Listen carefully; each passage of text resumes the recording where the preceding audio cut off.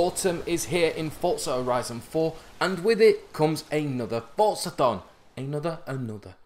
Before we get into the weekly Forzathon challenges, let's take a look at this week's Autumn Festival playlist. If you complete 50% of this week's playlist, you will bag yourself the number 25 RTR Mustang, and if you complete 100%, you will bag yourself the 65 Pontiac GTO. Now before I delve into each of the challenges, let's take a look at what's available in this week's Forzathon shop. This week we have the 1958 Aston Martin DBR1. You can pick this one up for 650 Forzathon points. We have the 2017 Chevrolet Colorado ZR2. You can pick this one up for 600 Forzathon points. Clothing wise, we have the RTR Fun Haver Blue Top. You can get this for 150 Forzathon points. I don't know how many Forzathon points you'd actually waste on the ice cream Van Horn. Let me know in the comments below. If you're feeling flush with your Forzathon points, you can buy a super wheel spin for 150 or a normal wheel spin for 40 Forzathon points.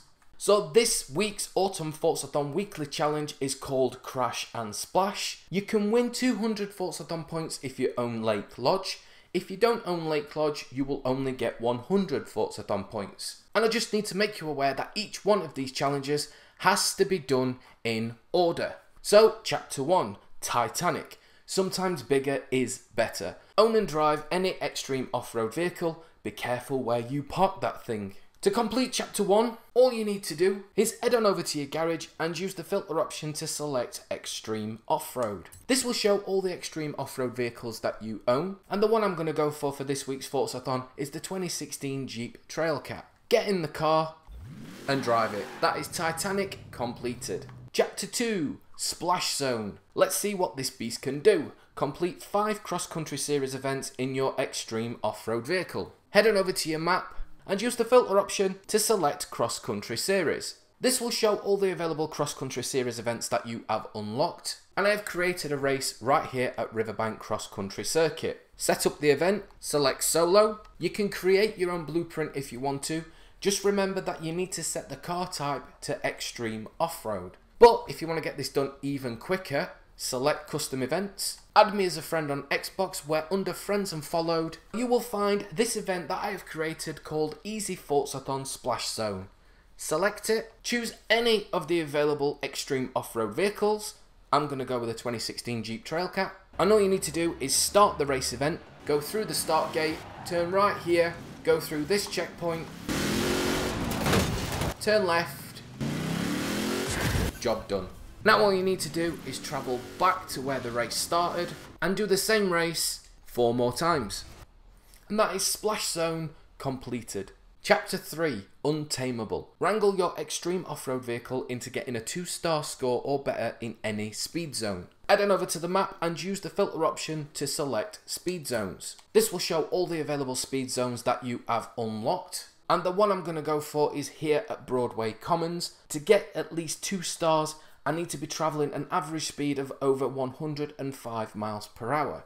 And to make this week's Forzathon even easier, I've created this tune for the 2016 Jeep Trailcat called Crash and Splash. Using the Jeep Trailcat and that tune, you will be able to get at least two stars on most of the speed zones in this game.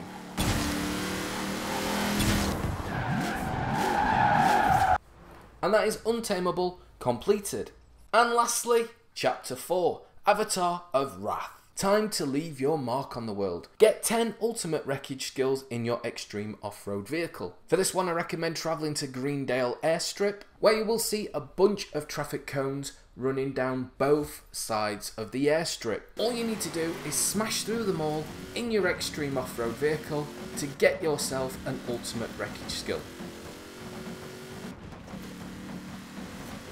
Like so. Once you've knocked over all the cones, you can actually go around all the fences that run around the airstrip and smash through those until you get the ultimate wreckage skill to pop there as well. There are more than enough items around here that you can smash through to get those ultimate wreckage skills to pop.